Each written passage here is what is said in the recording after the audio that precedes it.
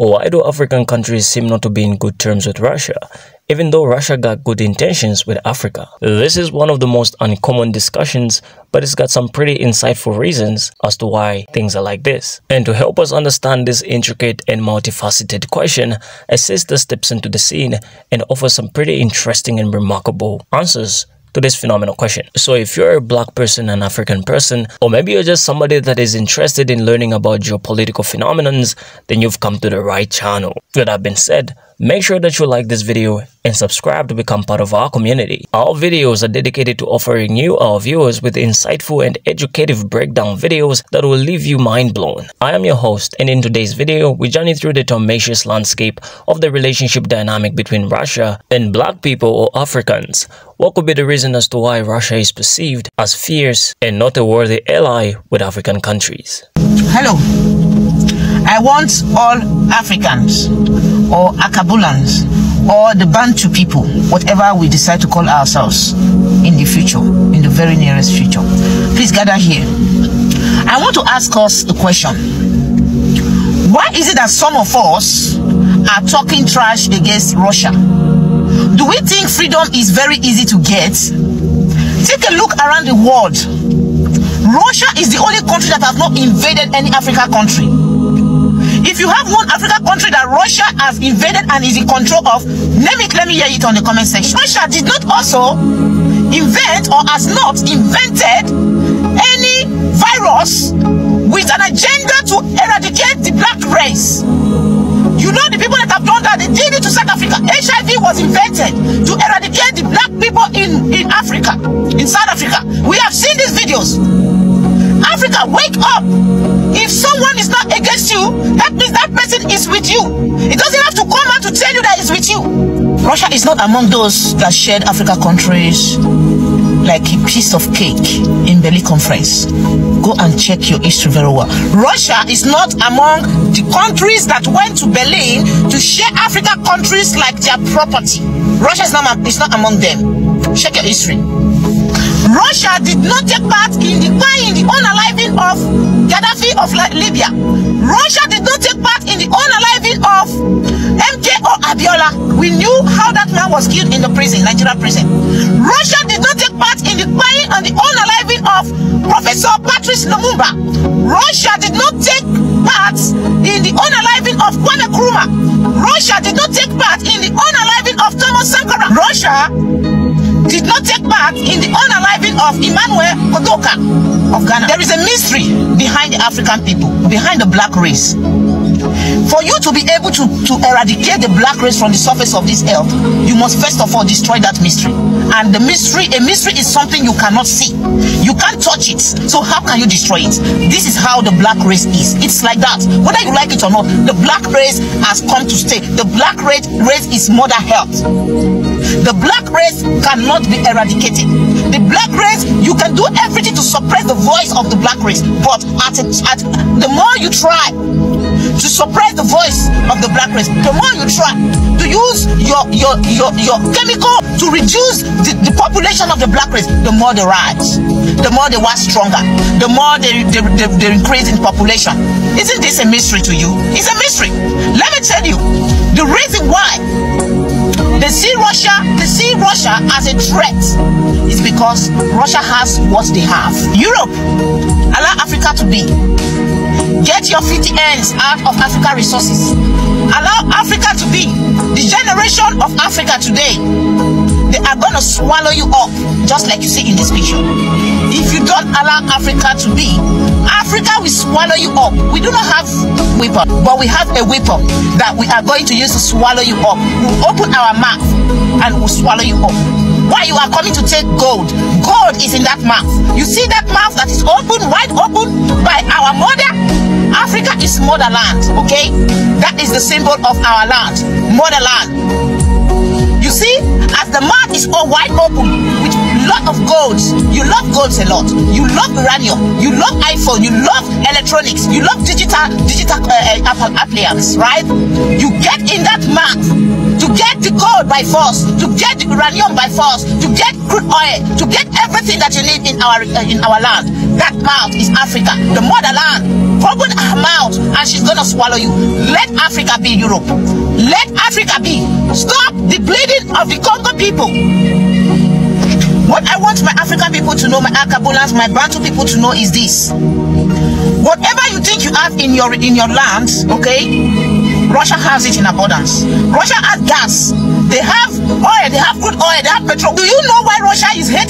by the West? Russia is hated because Russia was one of the country that that never supported the the slave trade. Russia did not support the invasion, the colonial masters agenda. Russia did not was not in support of it. One of the reasons why they also hate Russia is because Russia has refused or have rejected the LGBTQ that these people are promoting. Russia rejected the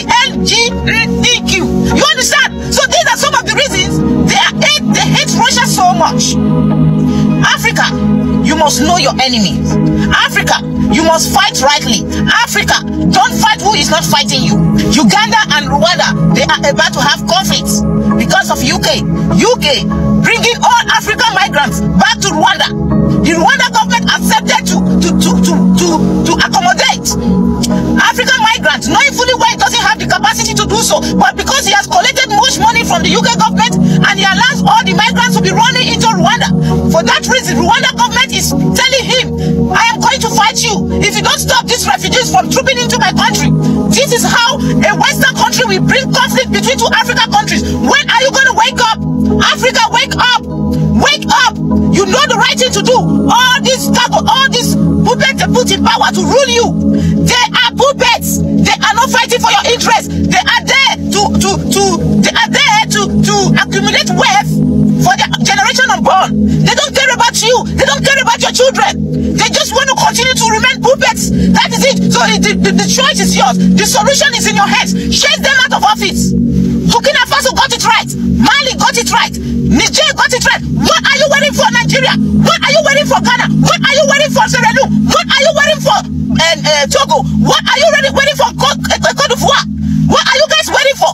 Now is the time. Wake up. Motherland is calling you.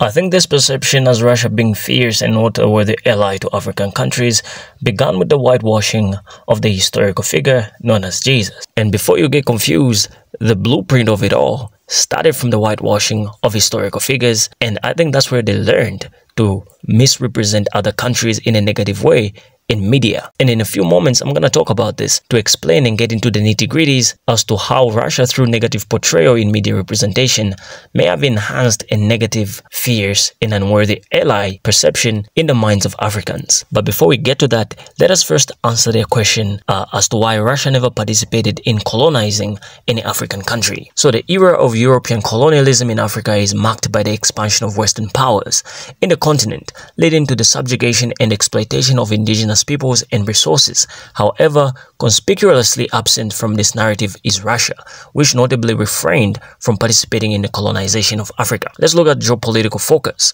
One significant factor that contributed to Russia's absence from Africa colonialism was its geopolitical focus on other regions. Throughout history, Russia has primarily directed its expansionist efforts towards Eastern Europe, Central Asia, and Siberia. The vast territorial expanse of Russia, coupled with its strategic interests in these regions, left little incentive or capacity for colonial expansion in Africa. Mind you, this is just an essay that I'm reading uh, to guide us through some of the reasons, historically speaking, internal challenges and reforms. Additionally, Russia grappled with internal challenges and reforms during the period of European colonialism in Africa. The late 19th and early 20th centuries saw Russia undergoing significant political, social, and economic transformations, including the abolition of serfdom. Industrialization and modernization also played a crucial role. These internal dynamics demanded considerable resources and attention, diverting focus away from overseas colonial ambitions. And what that means is they were more focused on industrializing themselves rather than going in a foreign land and acquiring resources from that land because they had their own resources. They were not gonna use other excess resources to get people to become slaves and the whole process of it all. Perhaps some leaders wanted to do this while other leaders saw more opportunity in Russia uh, colonizing or maybe expanding its influence to Siberia and other places. Strategic alliances and rivalries. Russia's geopolitical position and strategic alliances also played a role in its approach to colonialism. Unlike many Western countries or powers, Russia did not possess significant naval capabilities to establish and maintain distant colonial possessions Instead, Russia focused on expanding its influence through territorial acquisitions in neighboring regions and diplomatic alliances with other European powers. So Russia saw that if it made efforts to expand in a foreign land, it was gonna use a lot of resources in the process. Hence, they just aimed at expanding their influence in neighboring uh, places, as we've read. Cultural and ideological factors. Furthermore, cultural and ideological factors may have influenced Russia's approach to colonialism.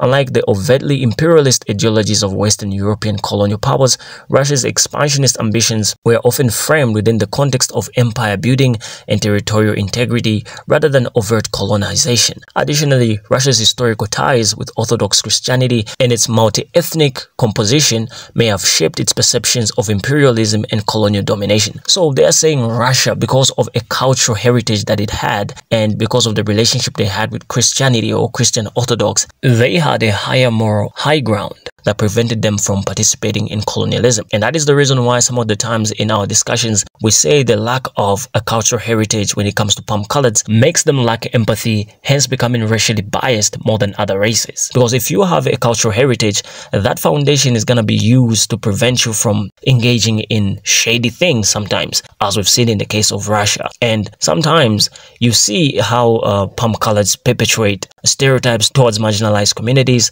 And at the end of it all, they also adopt the culture uh, from that community that they were portraying stereotypes towards, which is sort of ironic. Now that we've looked at the historical context of it all, let's answer this question. How did Russia become an unworthy ally to African countries? Through media representation, of course. When it comes to movies portraying enemies or bad guys, don't you just ask yourself why most of the times you find a Russian enemy in a movie, you know, and comedians have joked about this.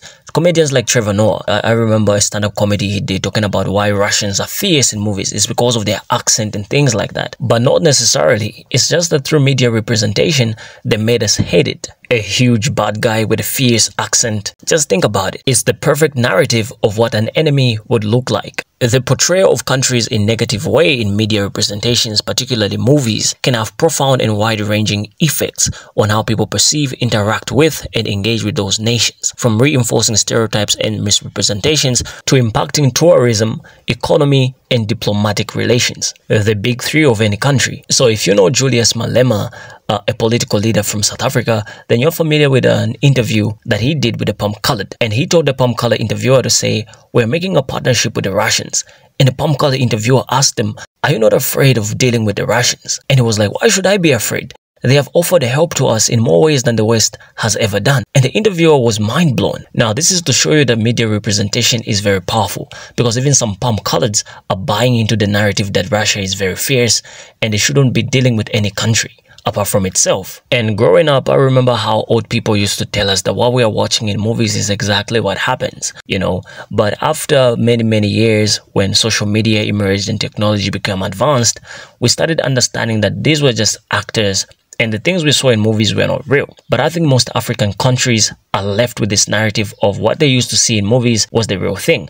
Hence brings us back to the whitewashing of Jesus. The white Jesus we saw in movies is what most people have widely accepted as their savior and messiah, even though it wasn't true. And it's also very interesting to see that Russia is the only country that unveiled to us that Jesus was actually black. Isn't that interesting? So could Russia be the good guy but has been forcefully misrepresented in movies? You tell me. But all in all, media is a powerful tool to enhance the perceptions of countries, people, and nations in people's minds.